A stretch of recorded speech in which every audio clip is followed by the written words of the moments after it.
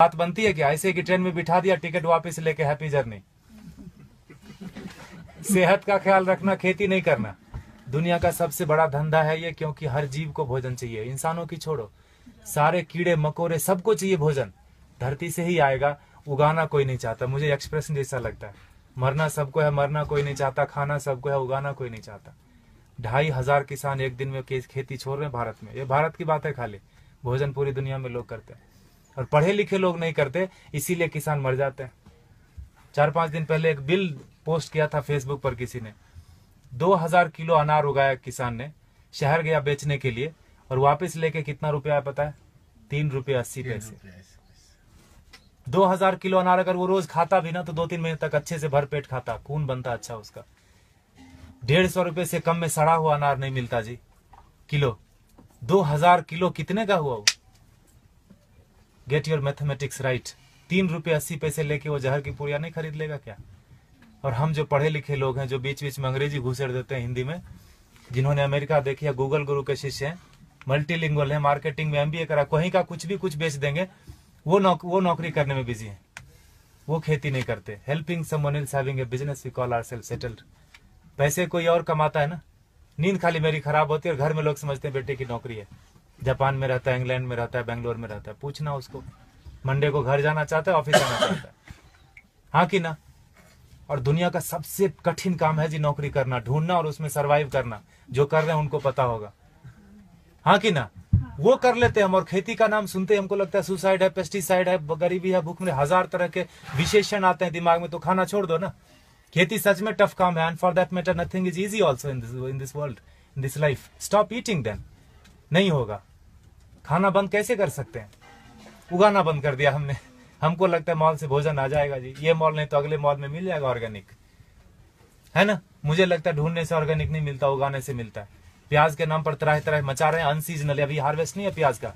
महँगी क्यों नहीं होगी? एक प्याज उगा के तो देखो, पता चलेगा एक प्याज उगाने में कितना लगता है। है ना? हम ऐसा नहीं करते। तीन बार खाते हैं, प्लास्टिक में बांधते हैं, फेंकते हैं उसको, ऐसे जैसे चाँद पे चला गया। वो फर्मेंट होता है मिथेन बनता है उससे कैंसर फैलता है। हमको लगता है मैं अच्छा आदमी हूँ। झाड़ू देना तो मोदी का काम है, स्वच्छ भारत अभियान चलाया। इतने निकम्मेपन की तरह हम लोग बढ़ते जा रहे हैं। मुझे ऐसा लगता है। माफ़ कीजिएगा, मैं थोड़ा हार्ड बोलता हूँ, लेकिन सत्य यही है, पाँच हज़ार टन खाली इस शहर से निकलता है एक दिन में किचन का वेस्ट बेंगलोर बहुत छोटा शहर है, बाकी मेट्रोज के कंपेरिजन आओ दिल वो।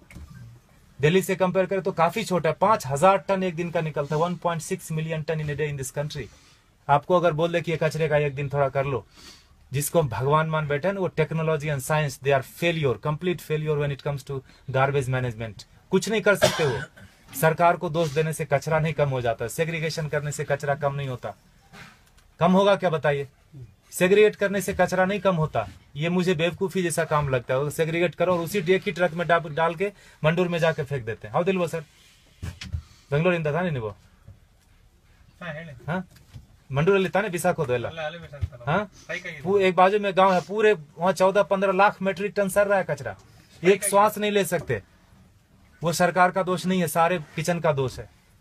कैंसर फैलाते हैं हम हमको लगता है हम अच्छे आदमी पचपन प्रतिशत वेस्ट से हम गोबर बना सकते हैं और उससे टमाटर घर में उगा सकते हैं। जो दीदी बोल रही थी परमाकल्चर की बात हमने वही किया। पत्थरों पे बिना खेत खुदाई किए हुए उगा दिया। बिना बोरवेल डाले हुए उगा दिया।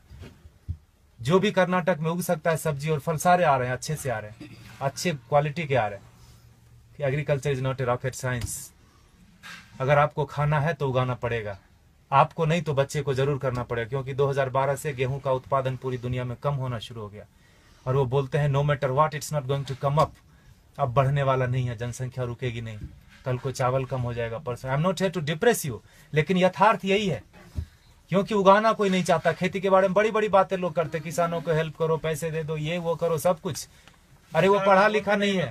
वो शहर जाके किसी अपने क्या कलेक्टर ऑफ़िस में जाके वो बात ही नहीं कर सकता कि सरकार ने कितनी सब्सिडी दी। बात कर सकता है क्या वो?